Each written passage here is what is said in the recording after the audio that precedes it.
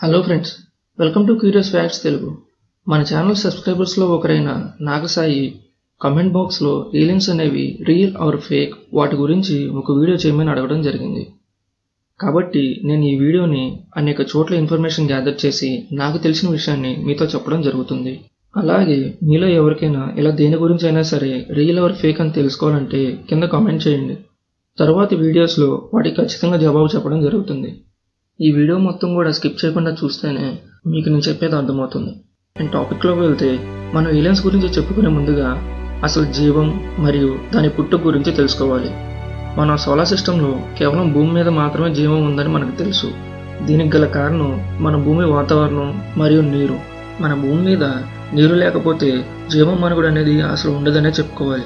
మన భూమి వాతావరణం ఇలా మనకు అనుకూలంగా ఉండడానికి కారణం మన సోలార్ సిస్టంలో ఎర్త్ హ్యాబిటబుల్ జోన్లో ఉండడమే. సన్కి బాగా దగ్గరగా ఉంటే హాట్ జోన్ అలాగే బాగా దూరంగా ఉంటే కూల్ జోన్గా ఉండి జీవం మనుడికి సాధ్యం కాదు. ఈ రెండు జోన్స్ మధ్యలో ఉండేదాన్ని హ్యాబిటబుల్ జోన్ అంటారు. కేవలం మన సోలార్ సిస్టంలో మాత్రమే కాదు మొత్తం మన మిల్కీ వే గెలాక్సీలో ఈ హ్యాబిటబుల్ జోన్లో ఉన్న ప్లానెట్స్లో మాత్రమే జీవం ఉండడానికి అవకాశం ఉంది. మొత్తం మన మిల్కీ వే గెలాక్సీలో దాదాపుగా సన్లాగా హండ్రెడ్ బిలియన్ స్టార్స్ అంటే పది పక్కన పదకొండు సున్నాలు పెడితే అన్ని స్టార్స్ ఉంటాయి. అలాగే అందులో దాదాపు అరవై బిలియన్ ప్లానెట్స్ మన భూమిలాగా హ్యాబిటబుల్ జోన్లో ఉండే అవకాశం ఉందని మన శాస్త్రవేత్తలు అంచనా. ఇప్పటి వరకు నలభై దాకా హ్యాబిటబుల్ జోన్లో ఉన్న గ్రహాలను మన శాస్త్రవేత్తలు గుర్తించారు. వాటన్నింటిలో కూడా మన భూమి మీద లాగా వాటర్ ఉండే అవకాశాలు ఉన్నాయి. ఇది మాత్రమే కాదు ఇప్పుడు మనం చెప్పుకునే ఏలియన్స్ కూడా ఉండే అవకాశం ఉంది. అండ్ ఇంకా మన మెయిన్ టాపిక్లోకి వస్తే ఏలియన్స్ ఇప్పటి వరకు లెక్కకు మించిన సినిమాలు బుక్స్ అండ్ కార్టూన్ స్టోరీస్ ఇలా చెప్పుకుంటూ పోతే చాలా రకాల ఏలియన్ స్టోరీస్ ఉన్నాయి. ఏలియన్స్ అంటే ఎక్స్ట్రా టెరెస్ట్రియల్ స్పీసెస్ సింపుల్గా గ్రహాంతర వాసులు అని అర్థం. మన భూమి మీద కాకుండా వేరే గ్రహాల్లోని ఏ జీవినైనా సరే ఎక్స్ట్రా టెరెస్ట్రియల్ స్పీసెస్ అనుకోవచ్చు. ఏలియన్స్ అంటే మన మూవీలో చూసినట్లుగా ఇలా పెద్ద కళ్ళతో పెద్ద తల స్మూత్ స్కిన్తో ఉంటాయి అనుకోకూడదు ఇది కేవలం మన మనుషులు ఊహించిన కొన్ని ఊహాగానాల నుండి వచ్చినవి మాత్రమే. ఎందుకంటే మన భూమి మీద ఏ జీవైనా సరే కాళ్ళు చేతులు తల రెండు కళ్ళతో ఒక ముక్కు ఉండి లేదా కొంచెం డిఫరెంట్గా మాత్రమే ఉంటాయి. దానివల్లనే మూవీస్లో ఉండే అన్ని రకాల ఏలియన్స్ మనకు తెలిసిన ఏదో ఒక పోలికలను కలిగి ఉంటాయి. అండ్ నెక్స్ట్ యూఎఫ్ఓస్ చాలామంది కూడా ప్రపంచవ్యాప్తంగా ఎన్నో ప్రదేశాల్లో ఏదో గుర్తు తెలియని ఒక ప్లేట్ వంటిది ఎగురుకుంటూ వెళ్ళడం చూసామని కంప్లైంట్ చేశారు. అది మాత్రమే కాదు కొంతమంది వాటిలో నుండి ఒక లైట్ వంటిది వచ్చి వస్తువులను మనుషులను కూడా అందులో ఒక లాక్ వెళ్ళిందని కంప్లైంట్ చేశారు. ఇలా ఎగిరే ప్లేట్స్కి వారు యుఎఫ్ఓ అని పేరు పెట్టారు. యుఎఫ్ఓ అంటే అన్ఐడెంటిఫైడ్ ఫ్లయింగ్ ఆబ్జెక్ట్. తెలుగులో గుర్తు తెలియని ఎగిరే వస్తువు అని అర్థం. ఇప్పటి వరకు ఎన్నో రకాల ఫొటోస్ అండ్ వీడియోస్ యూఎఫ్ఓని రికార్డ్ చేశామంటూ వైరల్ అయ్యాయి. కానీ అవన్నీ కూడా ఫేక్ న్యూస్లు. యూఎఫ్ఓస్ని మొదటిసారి వరల్డ్ వార్ టూ టైంలో మిలిటరీ వారు చూసామని కంప్లైంట్ చేశారు. ఆ తర్వాత దాదాపు పంతొమ్మిది వందల నలభై నుండి యాభైల మధ్యకాలంలో చాలామంది మేము కూడా అలాంటివి చూసామని కంప్లైంట్ చేశారు. కానీ కేవలం పంతొమ్మిది వందల యాభై రెండు నుండి అరవై తొమ్మిది మధ్యకాలంలో దాదాపు పన్నెండు వేల కంప్లైంట్స్ వచ్చాయి. పంతొమ్మిది వందల అరవై ఆరులో ముప్పై ఏడు మంది శాస్త్రవేత్తలు యాభై తొమ్మిది ఈఎఫ్ఓస్కి సంబంధించిన రిపోర్ట్స్ని సబ్మిట్ చేశారు. కానీ అందులో ఈఎఫ్ఓస్కి సంబంధించి ఒక్క ఎవిడెన్స్ కూడా లేదు. ప్రపంచవ్యాప్తంగా అరవై ఒక్క శాతం మంది ఏలియన్స్ ఉన్నాయని నమ్ముతారు.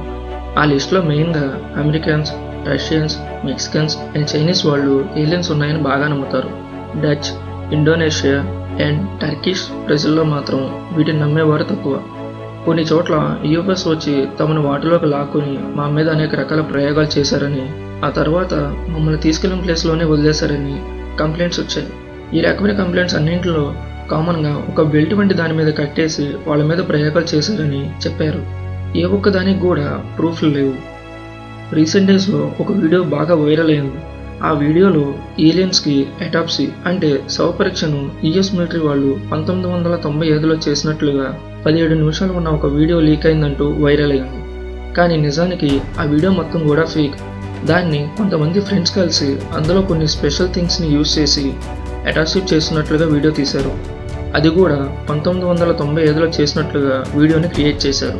కేవలం ఆ వీడియోని ఫన్ కోసం చేశారు. కానీ అది ప్రపంచవ్యాప్తంగా వైరల్ అవ్వడం వల్ల అక్కడి గవర్నమెంట్ దీనికి సంబంధించిన డీటెయిల్స్ని గ్యాదర్ చేయడం స్టార్ట్ చేశాక ఆ ఫ్రెండ్స్ గ్రూప్ ఆ ఏలియన్ అటాప్సీని వాళ్ళే సరదా కోసం చేసి సోషల్ మీడియాలో అప్లోడ్ చేశామని ఇలా వైరల్ అవుతుందని అనుకోలేదని ఒప్పుకుని క్షమాపణ కూడా చెప్పారు. ఇప్పటి వరకు మన భూమి మీదకి ఒకవేళ ఏలియన్స్ వచ్చినా కానీ మన దగ్గర వాటికి సంబంధించిన ఒక్క ప్రూఫ్ కూడా లేదు.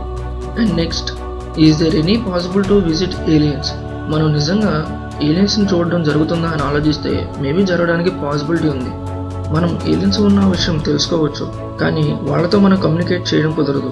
ఎందుకంటే మన దగ్గర ఉన్న టెక్నాలజీతో మనం మన గెలాక్సీలో ఉన్న వేరే ప్లానెట్కి వీళ్ళంత అభివృద్ధి చెందగా నాసా ఇప్పటి వరకు Voyager one and two Pioneer ten and eleven వంటి స్పేస్ క్రాఫ్ట్స్ని పంతొమ్మిది వందల డెబ్బై ఏడు తర్వాత నుండి లాంచ్ చేసింది.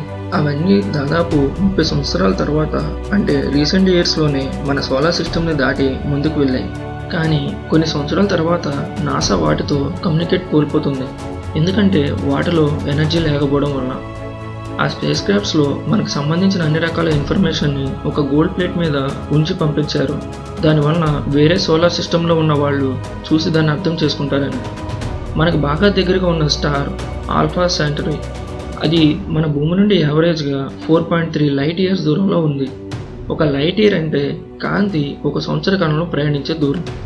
లైట్ స్పేస్లో యావరేజ్గా త్రీ ల్యాక్ కిలోమీటర్ అంటే మూడు లక్షల కిలోమీటర్ పర్ సెకండ్ వేగంతో వెళ్తుంది. ఒకవేళ ఆల్ఫా సెంటరీ స్టార్ దగ్గర ఈలియన్స్ ఉండి అవి మనలాగే అభివృద్ధి చెంది ఒకవేళ మనల్ని గమనించి రావాలన్నా సరే four point three light years దూరం ట్రావెల్ చేయాలి. అంత దూరం ప్రయాణం అంటే సింపుల్గా అవ్వదు కదా. ఎగ్జాంపుల్కి ఒకవేళ అక్కడి వాళ్ళంతా అభివృద్ధి అయ్యి మన దగ్గరకు వచ్చినా సరే మన భూమి వాతావరణం మనకి అనుకూలంగా ఉన్నట్లు వాళ్ళకు ఉండకపోవచ్చు. ఎందుకంటే మన భూమిలో ఉన్నట్లుగా మన సోలార్ సిస్టంలో ఉన్న ప్లానెట్స్లో గ్రావిటీ ఎయిర్ అట్మాస్ఫియర్ ఉండదు. సేమ్ అలాగే ఏలియన్స్ దగ్గర ఉన్న ప్లానెట్లో ఉన్న అట్మాస్ఫియర్ మన భూమి మీద ఉన్న అట్మాస్ఫియర్ ఒకలా ఉండకపోవచ్చు. దానివలన ఒకవేళ ఏలియన్స్ వచ్చినా వాటి మనుగడ అనేది సింపుల్గా ఉండదు. ఎందుకంటే ప్రపంచవ్యాప్తంగా చాలా ప్రదేశాల్లో మానవ మనుగడ ఉంది. కాబట్టి మనకి తెలియకుండా ఏలియన్స్ భూమి మీద ఉండడం కష్టమైన విషయం. హండ్రెడ్ బిలియన్ స్టార్స్ ఉన్న మిల్కీవే గెలాక్సీలో సిక్స్టీ బిలియన్ ప్లానెట్స్ హ్యాబిటబుల్ జోన్లో ఉన్నాయి. అందులో కూడా జీవం ఉండే అవకాశం ఉంది. కానీ అందులో మనకు దగ్గరగా ఉన్న స్టార్ నుండి ఇక్కడ రావడం అనేది సాధ్యం కాని పని. ఎందుకంటే మన సోలార్ సిస్టంలో ఎంటర్ అయిన తర్వాత అనేక రకాల గ్యాస్ క్లౌడ్స్ ఆ తర్వాత స్పేస్ డస్ట్ అండ్ ఆస్ట్రాయిడ్స్ని తప్పించుకొని రావడం అంత సులువుగా ఉండదు. ఒకవేళ వచ్చినా సరే అవి మన దగ్గర జీవించడం అనేది మనకు తెలియకుండా జరగడం అనేది చాలా కష్టం. ప్రస్తుత కాలం వరకు ఏలియన్స్కి సంబంధించిన ఒక ఆధారం కూడా లేదు. కేవలం అన్నీ కూడా కొన్ని కల్పిత గాథలు అండ్ ఊహాగానాలు తప్ప.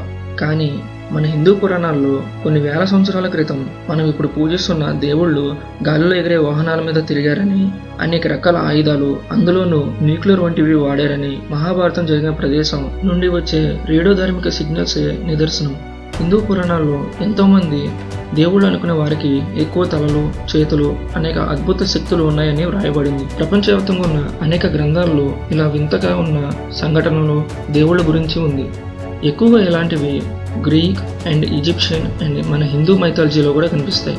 బహుశా వేల సంవత్సరాల క్రితం ఏలియన్స్ వచ్చి మన భూమిని పరిపాలించి మనకు మంచి చేయడం వల్ల వాళ్ళని దేవుళ్ళగా పూజించి ఉండవచ్చని కొంతమంది శాస్త్రవేత్తల అభిప్రాయం. అండ్ కంక్లూజన్ ఏంటంటే ఫైనల్గా ఇప్పటి వరకు ఈలెన్స్ ఉన్నాయని వచ్చిన కంప్లైంట్స్లో ఒక్కదానికి కూడా సరైన ప్రూఫ్ లేదు. ప్రూఫ్స్ అని ఉన్న వాటిలో ఎక్కువ శాతం ఫేక్ అని ప్రూవ్ చేయబడినవి.